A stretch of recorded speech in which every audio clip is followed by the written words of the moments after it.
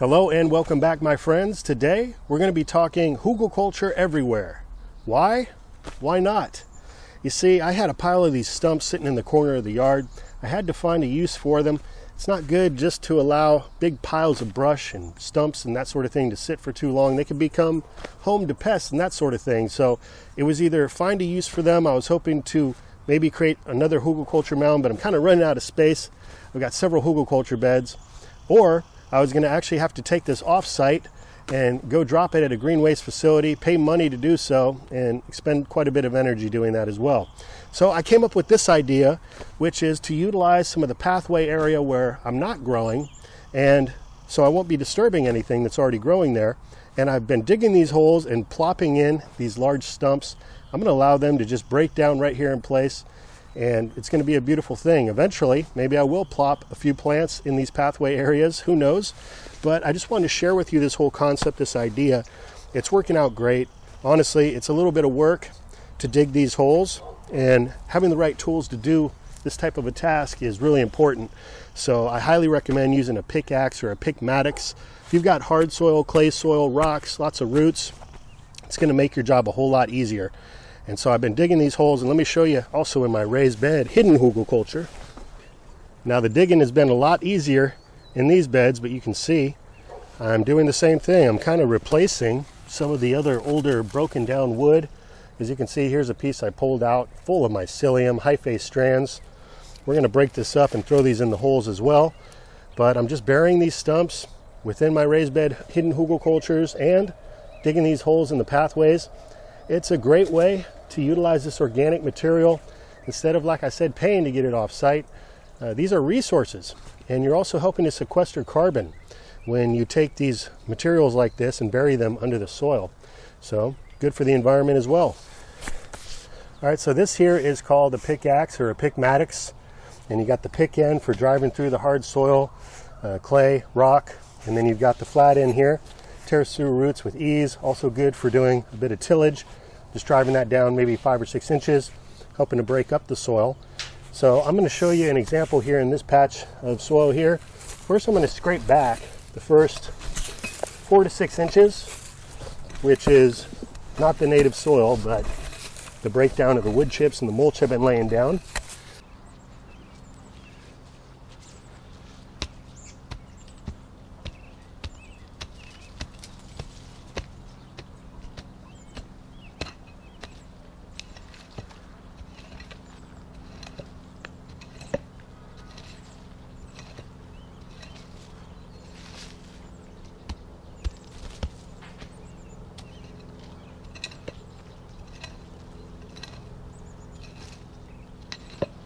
All right, now I'm going to start driving this pick end into that soil, like so.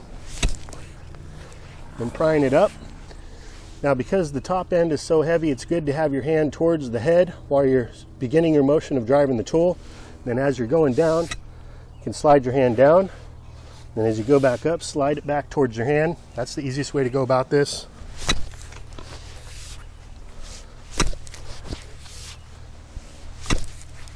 So we're just breaking it up right now.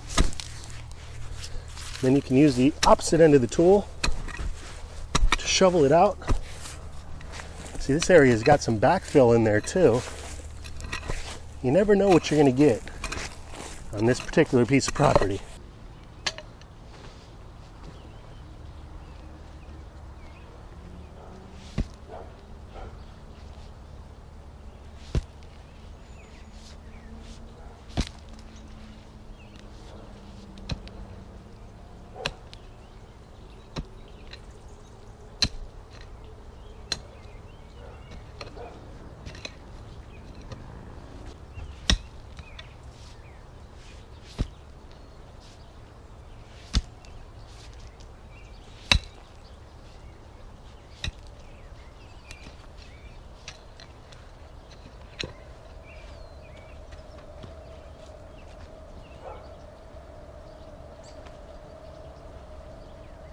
At here.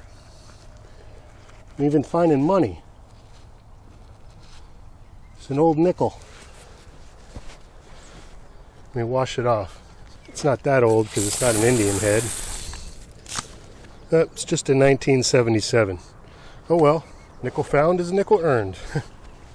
Before I continue, I just want to share with you the native soil here in my garden is predominantly clay. Occasionally you find backfill areas too, so who knows. I found lots of different debris and such in my garden. I am a fan of no dig style gardening, but in these urban and suburban lots, a lot of times there has to be some sort of excavation and tillage taking place so that you can clean the land. That was definitely the case here.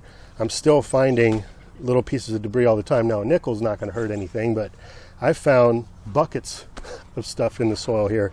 To be honest with you, I've found broken toilets. So who knows what was going on here before I arrived, but I'm constantly working the soil before I get it to a point where now it's a no dig. So in this area, I've never disturbed much more than maybe six inches down. So we're excavating, we're going to put in the log. But as far as clay soils go, I've been able to overcome that challenge over the years predominantly by practicing mulching, chop and drop, and applying compost teas, which are microbes that we proliferated with a tea brew over a 24 hour period. And those microbes work the soil, they help break down the organic components of the soil and turn it into more of a humus profile. Now, another benefit in the way I've been conditioning this soil here is with the fungal activity. Now, the mycelium that's been spreading throughout has come by way of wood chips being introduced into the garden. I've also inoculated many of the areas of the garden with a King Stropharia mushroom spawn. And although I didn't have any fruiting bodies pop up this year, when I did have fruits popping up, I was harvesting quite a bit. There was a lot of mycelial growth happening just below the wood chip level. Exciting to see. But that fungus will also help to break down these organic materials into more of a humus profile. So these are all things I highly recommend. If you're dealing with a clay soil, a hardened soil, again, introduce that mulch, practice chop and drop, bring in the microbes through compost teas, and try to inoculate different areas of the garden with either mushroom spawn or using other products like Mycos. You just sprinkle a little bit of that product on the roots of your plants, and it creates that mycelium contact from the roots of your plants, helping their reach to spread out to bring up the nutrients and the water. So these are all beneficial ways to improve your soil's quality. With that being said, I'm going to continue to dig this hole so I can bury that stump and have a little hugelkultur right here in this pathway. Now check out what this tool will do to those little roots there. Gone. And granted, those are some small roots, but this will go through up to two to three inches without much of an issue.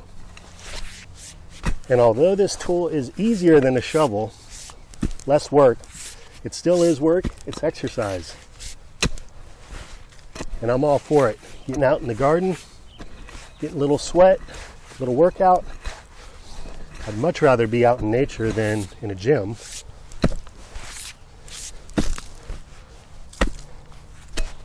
There's a big root.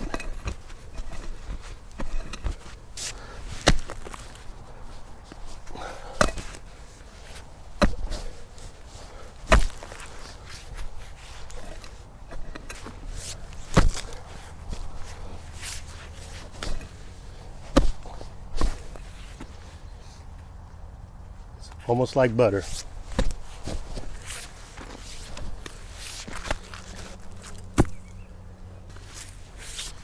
And we'll just backfill that.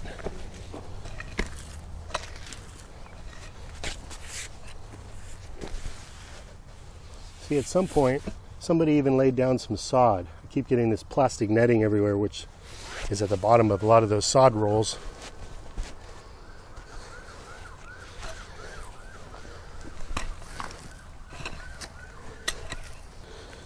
You could add in some food scraps into this hole as well if you wanted. Some worms from your worm bin. So there you have it. The stump is gone. We've conditioned the soil. We've got a hugelkultur right in place here in the pathway now. Over time, that wood's going to break down, become sponge-like, and end up providing moisture throughout the summer months. Some of the surrounding plants, like these little sprouted greens coming up here on the edge. So all in all, I find this to be a great benefit uh, if you are into gardening to just bury wood in different areas of your yard. And so I hope you got something out of this video today. The sun is headed down. I've got a little bit more work to do before I upload this video. So, with that, have yourself a great day. And remember, it's up to you to make it happen. So, get out there and make your dreams a reality. Until next time, this is Dan from plantabundance.com. Take care. I'll be talking to you again soon. Here's another big old stump.